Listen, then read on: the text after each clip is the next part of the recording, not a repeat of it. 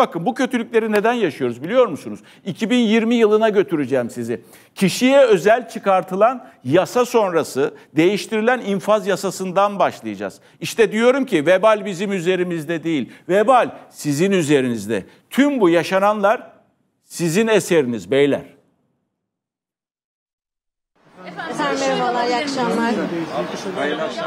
Bir de ihale indirimi olduğunda bazı suçlar bakımından özellikle kamuoyunun bir tepkisiyle karşı karşıya kalıyoruz. Bunun tekrar yeniden bir gözden geçirmek gerekir. Adalet Bakanı Yılmaz Tunç ceza infaz yasası ile ilgili yapılacak düzenlemeye ilişkin konuştu. İhale indirimi yüzünden kamuoyunun tepkisiyle karşılaşıldığına dikkat çekti. Bazı suçlar bakımından denetimli serbestlik uygulanır mı uygulanmaz mı? Bunu yine ceza hukukçularımızla konuşmamız gerekir. İnfaz yasası ile ilgili Bakan Tunç'un açıklamaları suç örgütü lideri suçlamasıyla 16 yıl boyunca cezaevinde kalan ve MHP'ye yakınlığıyla bilinen isimlerden Alaaddin Çakıcı'nın 2020'deki infaz düzenlemesiyle serbest kalmasını tekrar akıllara getirdi. O dönem düzenlemeyle 90 bin kişinin tahliyesinin yolu açıldı. Özellikle kamuoyunda duruşmadaki kılık kıyafeti nedeniyle indirim alan kişilerle ilgili hep eleştiri söz konusu oldu. 2018'de MHP lideri Devlet Bahçeli Alaaddin Çakıcı için genel af çağrısı yaptı. Yine aynı dönemde hastanede tedavi görürken Çakıcı'yı ziyaret etti.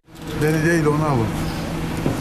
Son günlerde ülke genelinde şiddet olaylarında artış yaşanıyor. 2020'deki infaz düzenlemesinin bu artışa neden olup olmadığı sorusuysa hala yanıt bekliyor. Cezalardaki caydırıcılığı artırma noktasındaki bir takım hedeflerimiz olacak.